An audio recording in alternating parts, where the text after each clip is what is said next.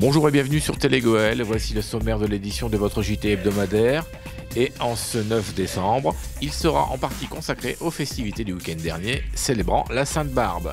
Avec musique et pyrotechnie impressionnantes dans les jardins de la fac Jean Perrin de Lens. Traditionnelle procession et bouquet final d'illumination à Liévin, à Los Angeles.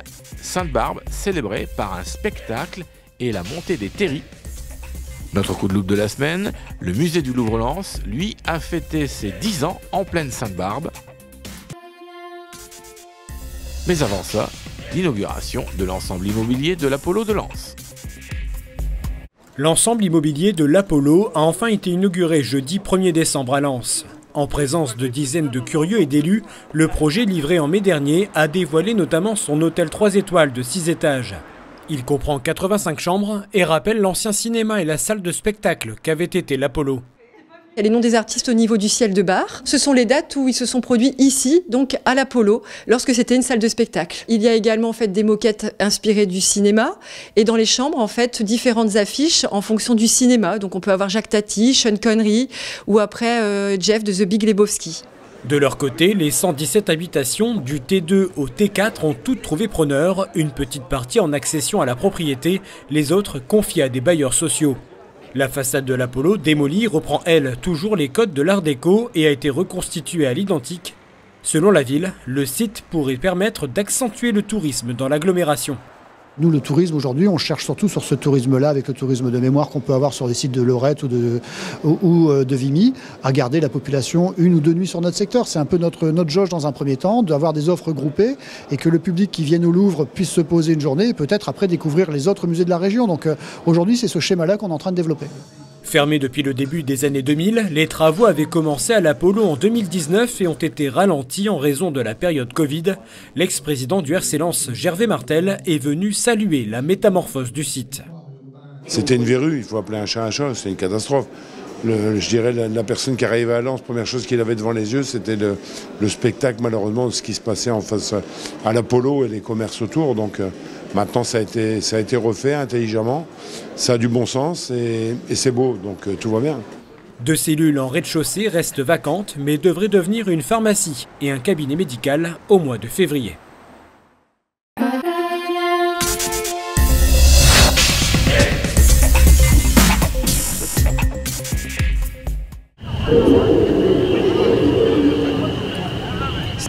Musique et concerts pyrotechniques dans les jardins de la fac Jean Perrin de Lens pour clore la semaine consacrée aux festivités de Sainte-Barbe, les étincelles.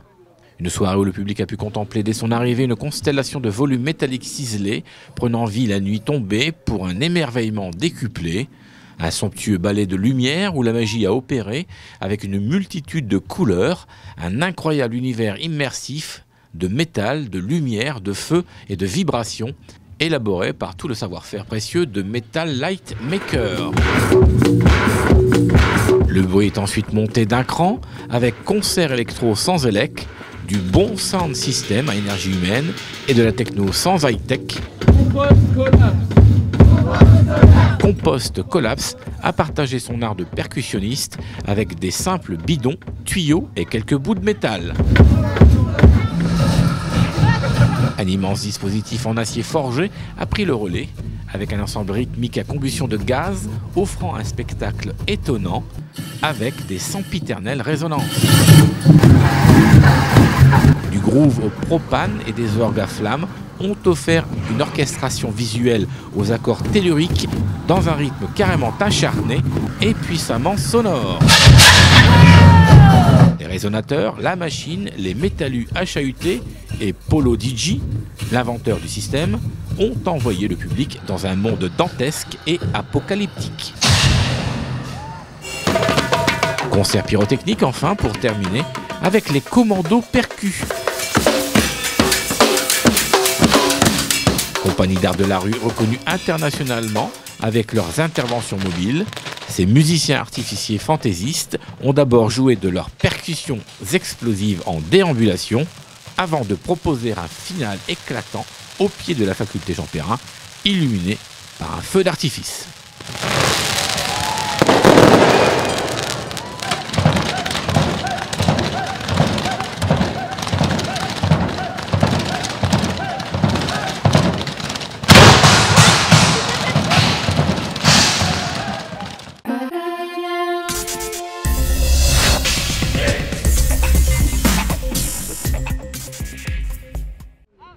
Pour les festivités de la Sainte-Barbe, ce week-end, Los-Angoel a accueilli dans une salle pleine le spectacle musical Simplement Merci.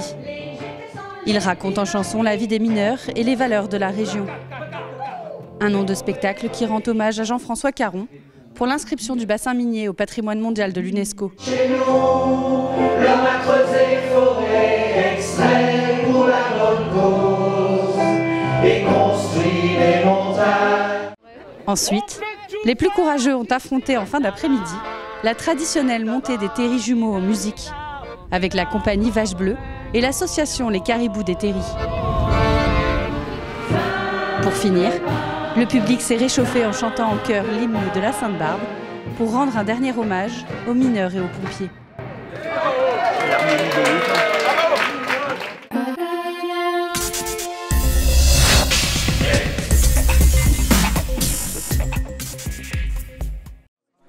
Véritable tradition depuis plus de 100 ans, Sainte-Barbe est célébrée sur le territoire de l'agglomération de Lens-Liévin. Sainte-Barbe, Barbara, bah, représente la protection des mineurs. Hein, parce que normalement, Sainte-Barbe, elle était au fond, dans les galeries, et les mineurs passaient devant, bien sûr. Hein, dans un sens, il a salué pour leur demander, pour lui demander la protection hein, de Sainte-Barbe. Et nous, avec la procession, elle est toujours sur un chariot avec nous. Une procession qui clôture dix jours de festivités sur le territoire Barbara a parcouru les rues de Liévin, accompagnée d'un orchestre et des habitants.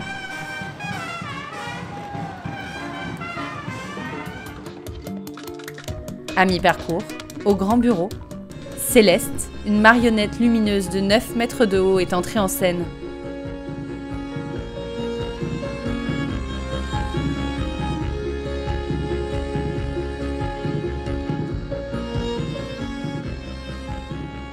Une fois arrivée à l'église Saint-Amé, la sainte patronne des mineurs, des artificiers et des pompiers a repris sa place au cœur de l'édifice. Un mapping vidéo est venu clôturer la procession.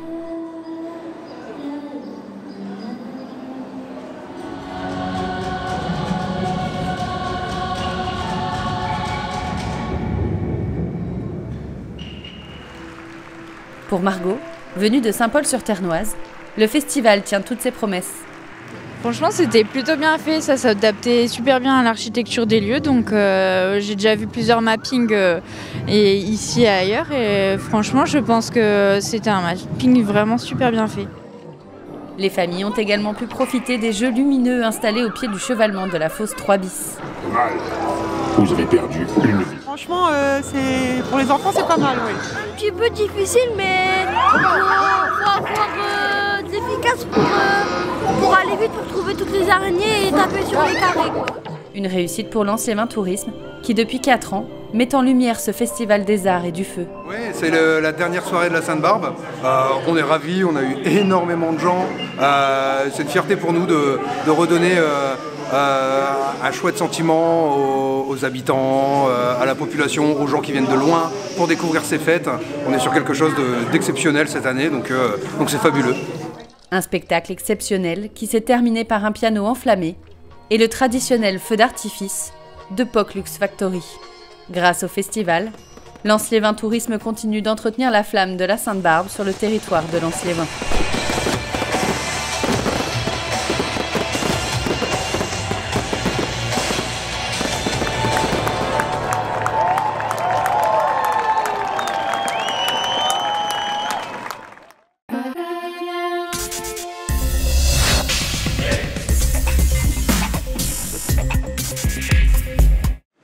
Du Louvre-Lens a célébré dignement ses 10 ans le week-end dernier.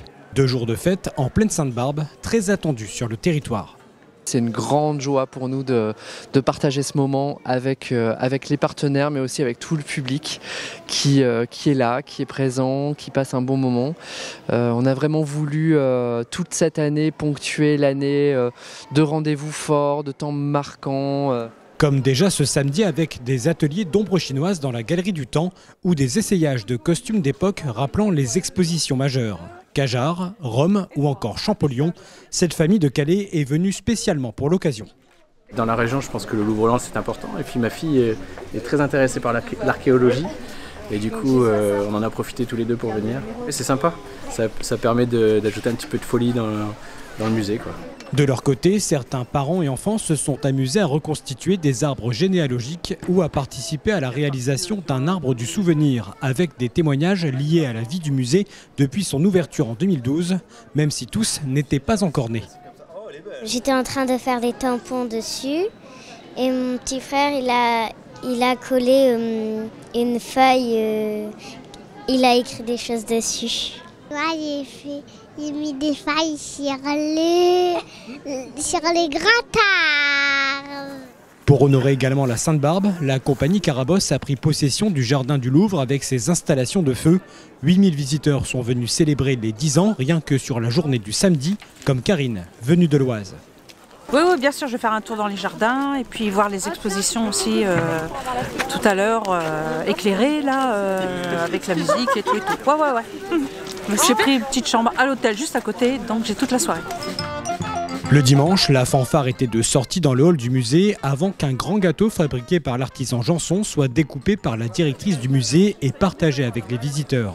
On en compte d'ailleurs un peu plus de 5 millions en une décennie d'existence pour nous, c'est la plus belle des récompenses. C'est que ce musée, il a été euh, adopté, il est aimé, il est fréquenté. Il s'inscrit en quelque sorte euh, dans la continuité de l'espace public. C'est vraiment un endroit de, partage et euh, je dirais que c'est notre plus beau cadeau ce week-end de voir tous les gens qui sont là, toutes les familles, les femmes, les hommes, les enfants qui ont choisi de passer une partie de leur week-end avec nous. Pour conclure ce week-end, l'artiste Rosemary Stanley s'est produite à la scène devant plus de 250 spectateurs. Elle a repris des titres américains liés à la vie des mineurs. De quoi encore honorer la Sainte-Barbe dans un lieu de culture unique qui a encore de très beaux jours devant lui.